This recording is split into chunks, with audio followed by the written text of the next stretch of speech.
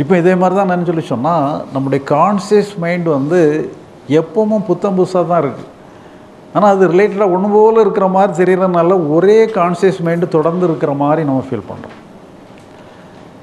அது எப்போவுமே வந்து புத்தம் புதுசாக தான் இருக்குது இந்த வினாடி இருக்கிறது அடுத்த வினாடி கிடையாது. ஆனால் நமக்கு வந்து ஒரே மாதிரி இருக்கிறதுனால நம்ம என்ன நினச்சிடறோம் ஒன்று தாங்கிற மாதிரி நினச்சிடறோம்.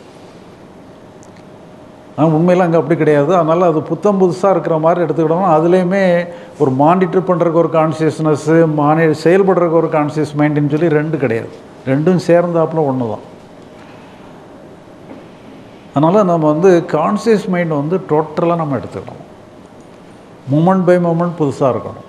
இதில் வந்து நம்ம செய்கிறது ஒரு ஆள் மானிட்டர் பண்ணுற ஒரு ஆளுங்கிற மாதிரி ஒரு அம்சத்தை நம்ம க்ரியேட் பண்ணாமல் டோட்டலாக ஒன்றுங்கிற மாதிரி எடுத்துட்டோம்னு சொன்னால் இப்போ சில சாஸ்திரங்கள் எல்லாம் பார்த்தீங்கன்னு சொன்னால் இந்த ரெண்டும் ஒன்றாகிறது தான் வந்து அதுதான் இருக்கிறதுலே உயர்ந்ததுங்கிற மாதிரி சொல்லி நிறைய பாடல்கள் இதெல்லாம் சாஸ்திரங்களை நிறைய இதெல்லாம் பாடி வச்சுருக்கிறாங்க. அதில் ஒரு பாடல். அதாவது கொலை களவு கள் பயிற்சி வரினும். நீ கொலை செஞ்சாலும் சரி கொள்ளை அடித்தாலும் சரி நீ கல் குடிச்சிட்டாலும் சரி என்ன வேணாலும் பண்ணிக்க. ஆனால் வந்து தனக்குன ஓர் செயலற்று தான் அதுவாகி நிற்கில். ஆனால் அது நிறைய ஒரு அர்த்தம் என்ன பண்ணுவாங்கன்னு சொன்னால் நீனும் அந்த செயலும் ஒன்றாயிரணுங்கிற மாதிரி அர்த்தம் சொல்லுவாங்க. ஆனால் அந்த மாதிரி அர்த்தம் கிடையாது. வந்து கான்சியஸ் மைண்டு வந்து இந்த டூயல் ரோல் எடுக்கக்கூடாது. கான்சியஸ் மைண்டு ஒன்று தான் ஒரு பகுதி செய்கிறது ஒன்று பார்க்குறது ஒரு பகுதி ரெண்டு பகுதி இல்லாதபடி டோட்டலாக ஒரே மைண்டாக செயல்பட்டதுன்னு சொன்னால் அது மொமெண்ட் பை மொமெண்ட்டாக புதுசாக மாறிடும் அப்படி மாறிட்டு அந்த மாதிரி எல்லாம் ஒன்றாவே இருந்துன்னு சொன்னால் இறைவனே ஒன் நீனாவே மாறி எல்லா செயல்களையும் அவனே செய்வான்ங்கிற மாதிரி அந்த அப்படி சொல்லி நீ நீனே சிவமாயிரலாங்கிற மாடலில் அந்த பாடலை சொல்லியிருப்பாங்க. அப்போ இதில் என்ன சொல்லி சொன்னால் இப்போ இதை வந்து நம்ம வந்து நிறைய ஒரு சாஸ்திர ரீதியான ஒரு பெரிய ஒரு பெரிய ப்ராஜெக்டாக எடுக்கணும்னு அவசியம் இல்லை. மொத்தம் இல்லைன்னா ஒன்று சிம்பிளாக எடுத்துட்டால் போதும். மூமெண்ட் பை மூமெண்ட்டாக வந்து நாம் புத்தம் புதுசாக இருக்கிறோங்கிற மாதிரி நமக்கு வந்து பெருமனன்சினிட்டு சொல்லி டெவலப் டெவலப் பண்ணக்கூடாது. அந்த நேரத்தில் இருக்கிறோம். இதில் என்னன்னு சொல்லி எப்போ அது சாத்தியமாகுதுன்னு சொன்னால் நமக்கு பிரச்சனையான பகுதி வந்து டோட்டல் மைண்ட் ஒப்படைச்சா மட்டும்தான் இந்த கான்சியஸ் மைண்ட் வந்து இந்த சுதந்திரமாக செயல்பட முடியும். அப்போ என்னன்னு சொன்னால் நம்ம செய்கிற செயல்கள் வந்து கடமையாக செய்கிற மாதிரி இருக்கும். ஒன்று இது நடக்கணும் அது நடக்கணும் இதுன்னு சொல்லி இந்த எதிர்பார்ப்பை வைக்க வைக்க என்ன ஆயிருன்னு சொல்லி சொன்னால் ஒரு டுயலிட்டியை மெயின்டைன் பண்ண ஆரம்பிச்சிடும் ஆனால் இந்த டுயலிட்டியை போகணுன்னு சொன்னால் என்ன பண்ணணும்னு சொன்னால் அந்த டோட்டல் நமக்கு பிரச்சனையான பகுதியெல்லாம் டோட்டல் மைண்டை ஒப்படைச்சிட்டோம்னு சொன்னால் நம்ம அந்த ஃப்ளோயிங் மைண்டாகவே மாறிடலாம். அந்த நேரத்தில் நம்ம என்ன செய்யணுமோ அதை மட்டும் செஞ்சுக்கிட்டு போயிட்டே இருப்போம். அப்போ மூமெண்ட் பை மூமெண்ட் நம்ம புதுசாக போயிட்டே இருக்கலாம்.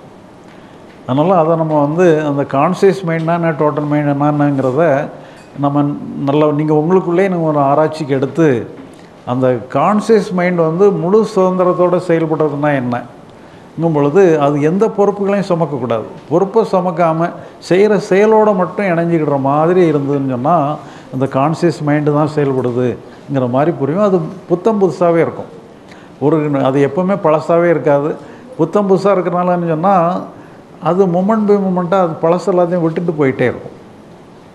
அதனால் அந்த கான்சியஸ் மைண்டுனா என்ன டோட்டல் மைண்டுனா என்னங்கிறத புரிஞ்சுக்கிட்டு நம்ம எந்த செயல்படுறோமோ அந்த செயலோட இதில் வந்து மானிட்டர் பண்ணுற நம்ம சரியாக செயல்படுறோமா தப்பாக செயல்படுறோமானிட்டுலாம் ஒன்று எடுத்துட்டிங்கனாலும் டூயல் ரோல் வந்துடும் இந்த டூயல் ரோல் வராதபடி நீங்கள் ஒவ்வொரு கணந்தோறும் நீங்கள் டோட்டலாகவே நீங்கள் செயல்படுறீங்க நீ செயல்படும் அப்படி நீங்கள் செயல்பட்டீங்கன்னு சொன்னால் உங்கள் பேக்ரவுண்டில் அந்த டோட்டல் மைண்டு உங்களோட இணைஞ்சிக்கிடும். டோட்டல் மைண்டு உங்களோட பின்னால் வந்து இணைஞ்சிக்கிட்டதுனால நீ எந்த செயல் பண்ணாலும் அந்த செயல் வெற்றிகரமாகவே முடியும். அதனால் நமக்கு தோல்விங்கிறதே ஏற்படுறதுக்கு வாய்ப்பே இல்லாமல் போயிடும் அதனால் அந்த வந்து கான்சியஸ் மைண்டு தான் முன்னால் போகணும். அது வந்து தன்னுடைய பொறுப்பு எல்லாத்தையும் டோட்டல் மைண்டுட்டு ஒப்படைச்சிடணும் ஒப்படைக்கும் பொழுது அங்கே அந்த செயல் நல்லாவே இருக்கும். அதனால் இது நிறைய பார்த்தீங்கன்னு சொன்னால் அந்த நிறைய பிரச்சனைகள் இருப்பாங்க. எத்தனையோ காம்ப்ளிகேட்டடான பிரச்சனைகள் இருக்கும். அது எல்லாத்தையுமே வந்து நமக்கு எட்டக்கூடிய பகுதி எது? எட்டாத பகுதி எதுன்னு சொல்லி ரெண்டாக பிரிக்க தெரிஞ்சால் போதும்.